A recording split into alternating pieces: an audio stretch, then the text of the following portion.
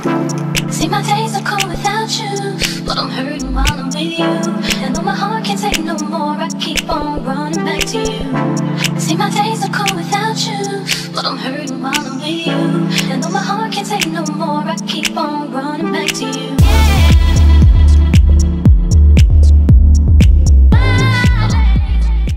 So, welcome to another Wig Fall Styles Wednesday, guys. This time I'm working with AF Sister Wigs, and as you guys can see, it came in this really, really cute box with a blue bow. And the, the box is really sturdy and nice as well, guys. It came with a band to go inside the wig, a scrunchie with a thing on it, and also a wig cap that I did use in this video.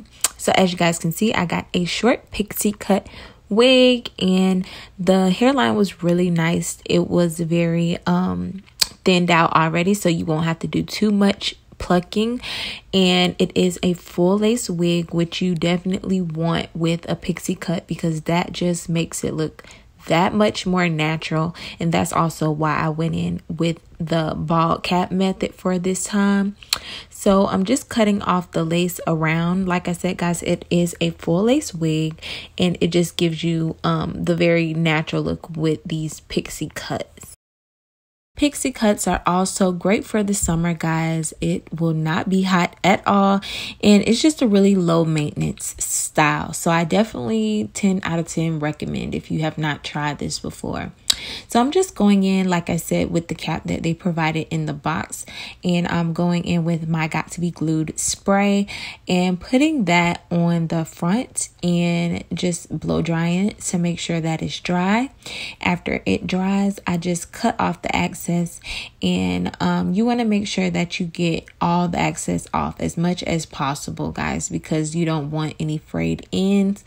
And then also, you want to make sure that you don't have too much cap when you are putting on your wig. So make sure that you cut this off really, really good. And then I'm just going to go in with my Sephora powder foundation and just put this all over the wig cap. And I also went in with the liquid foundation like closer to the end just to make it a little darker to my skin tone um, around the front so that it can blend seamlessly and um, like i said i just put this all over the wig cap. And it's really good to um, have like the makeup on there as well because um, like if you can see through the cap then you'll just it'll look like scalp if that makes sense. So as you guys can see i went in and bleached the knots. And i'm just kind of plucking it a little bit just to make it a little bit more um, realistic around the hairline. Like I said, it wasn't much to pluck at all because this wig is pre-plucked. It comes with four wig combs, um, the two in the front and then that one and then it has another one in the back but i took out the three in the front um just because um I don't like the snagging. And then guys, it came with a band inside the box which connect to those black things that you just seen. So right now I'm just putting on my wig, making sure that everything is fitting well and okay. And it definitely fits really, really good. So I'm just going in with the hot comb and this just kind of makes you um, see where you are as far as plucking and also it makes sure that the hair is out the way. So i'm going in with my got to be glued gel and putting that all around my hairline guys. And this is just going to ensure that the wig stays down. And um, you can also use like glue got to um or ghost bond glue or just any type of glue in place of this the Got to Be Glued gel is also like a lighter form of hold and it comes right off with water. So I usually only wear these units during the day and I take them off at night. So that's why it works for me. So here I am blow drying and hot combing at the same time. And then I'm just going to go ahead and cut the lace um, so that I can have three sections to work with. And this just ensures that the wig is tacked down even on the ear tabs. And it gives you like the space and time to really pay attention to detail. And this is really a way to get like the greatest results when you are laying your lace fronts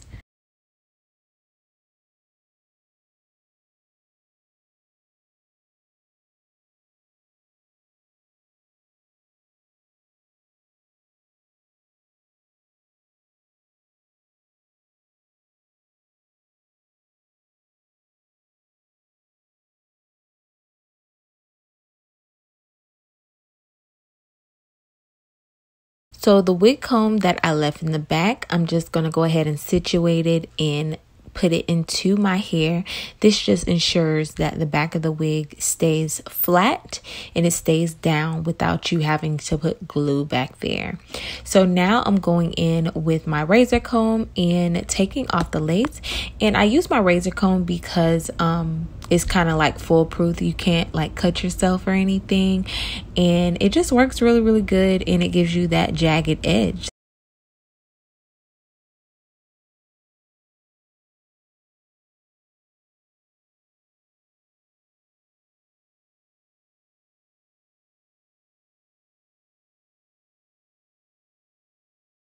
So to tack down any lifted parts in the front that did not get any got to be glued gel, I sprayed the got to be glued freeze spray and lay that down. And then I'm just gonna go in and tie up the front.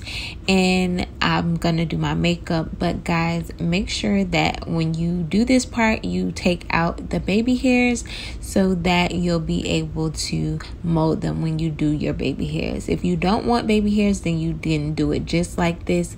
But you'll see right now as I'm doing my baby hairs like it's kind of hard because I did not take them out when I was molding my edges to lay down.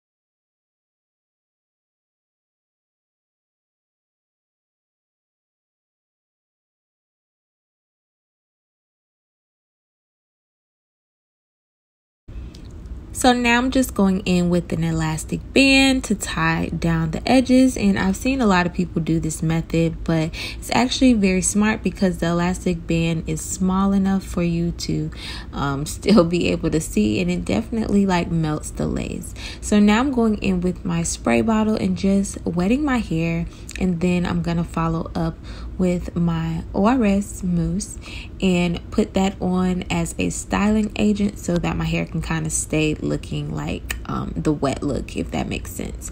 And then I'm just gonna kind of play with it at this point. You can just have fun um, play with it, see how you want to do it. And as you guys can see, I'm kind of molding it to the back and putting a scarf on so that the hairs could kind of be away from my face so that you can still see my baby edges and everything. So make sure you guys stay tuned to the end to see the finished product.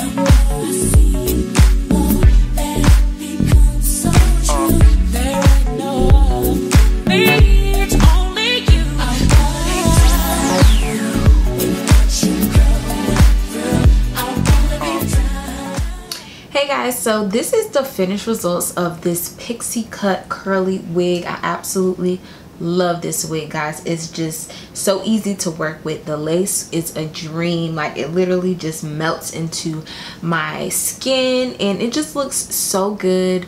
Um, as you guys can see or seen throughout this video the cut is really really nice and all you literally have to do is put this wig on and put some water and some mousse on it. Do your little baby hairs and go guys. It's super super easy. And since i live in florida you know it's not getting cold anytime soon so we can still rock like the summer styles and the shortcuts and things like that. So this is really really cute guys. I think this definitely is like my grown and sexy look. Like if i want to look grown and sexy i will definitely throw this wig on as you guys can see. So um i just used my ors wrap set mousse and I use this to define the curls. I also use this for my baby hairs and if you want like a more fluffy look then you guys can just add water and mold it and let it dry if you want more of a wet look to last all night then you can use the ors olive oil mousse and um, or just any mousse that you have. And you can put that on there and when it dries it'll still look wet. It'll still look very hydrated and look really really good just like this guys. So as you guys seen like I laid this scarf here just so that I can have like a little bit um, of curls like away from my face a little bit so you can still see like my baby hairs and stuff like that. So I'm feeling this look. Let me know guys how you like it down below. If you do like this video in this hair give it a big big big thumbs up and comment down below if you guys have any questions. I hope to see you guys in my next video. I love you guys so so much. Remember do what you love and love what you do and I'll see you guys next time. Bye. Mwah.